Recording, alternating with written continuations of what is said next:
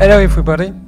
I'm Benoît Mortier from OpenSides. We are specialized in uh, identity management. So um, I will talk today about something different than the other years. Uh, not from a technical point of view, but from a um, functional point of view. Because today, uh, more and more, we are asked about making um, nice and nice and complex workflow, how to uh, help people putting in place workflow for identity management uh, with some kind of delegation and some other stuff. So today I will uh, talk about the Campus Condorcet. It's the new uh, scientific campus that will open at uh, Plaine Saint-Denis uh, this year. And uh, in this work, we have done several um, workflow. So what is the Campus Condorcet? Uh, Campus Condorcet is a new place for um, human and social science. Uh, it will have nearly 20,000 people coming around. And it's a bit special because it's uh, people that coming from various universities, 13 for the start. Um, this creates some challenge because um, when you want to manage the identity of those people on your new campus, as they come from other university, you don't want to create uh, a new um, identity management with all the information. You want to be able to get the information from their university to create your identity management, but some part of it only. Then you have now the GDPR, and the GDPR say that the people own the data. Of course, the university already have the data, but if you want to transfer the data from the university of origin to the new campus, hey, maybe you should ask them. I say maybe because if you ask five people, five people will have a different answer. But nevertheless, you have to take that in mind. And then uh, what's interesting, and it goes with what uh, Clément just talked about, it was uh, how can we use the standard of the French national education and how can we use uh, the federation system to be able to get this info about the user and ask the uh, university of origin if this user can connect or not.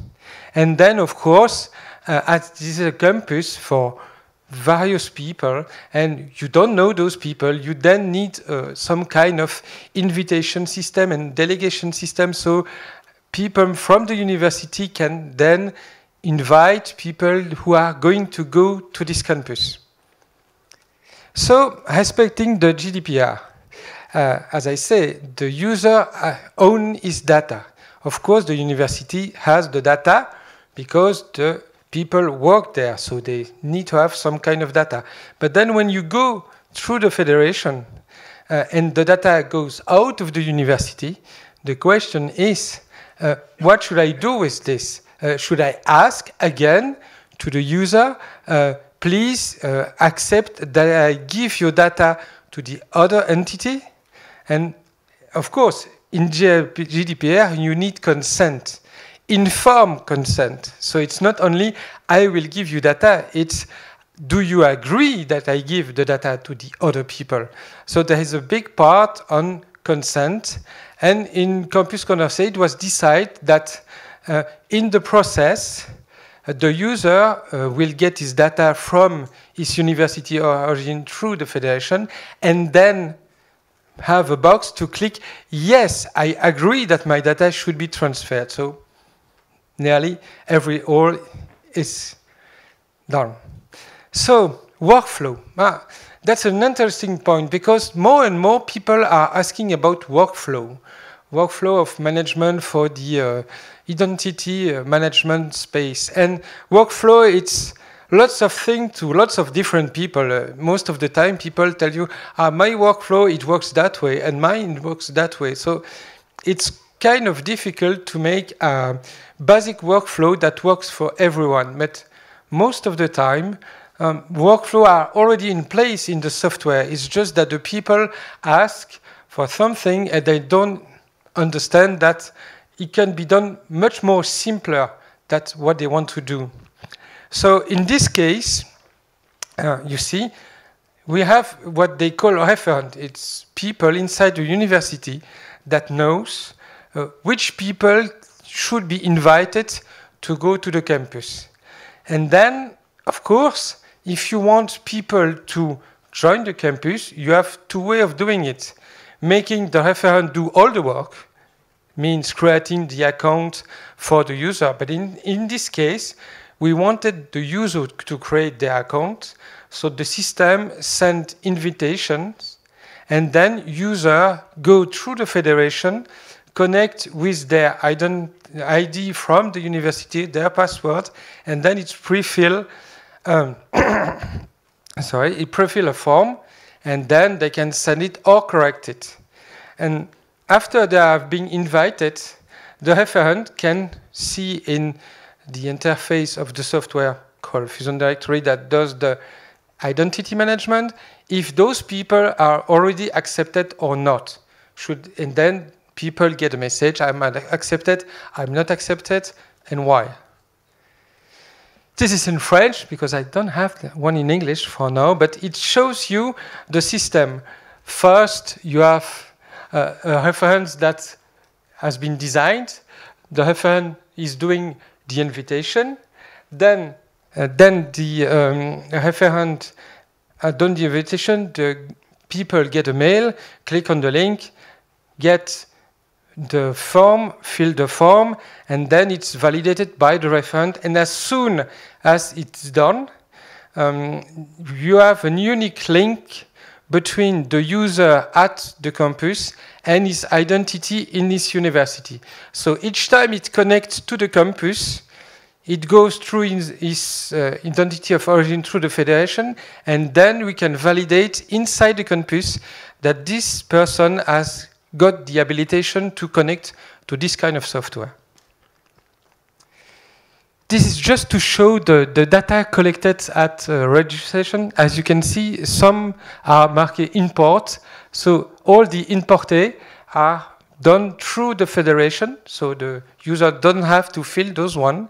And then he can add some specific information uh, why we are doing that, it's because the, uh, in the federation system, uh, you can just say, I will only send this kind of information. And as you have 13 university, you have to have a basic way of send, getting back the information. So this is the minimum set that all the federation send back when you try to connect, and the rest is filled by the user so we can have a full information about this user.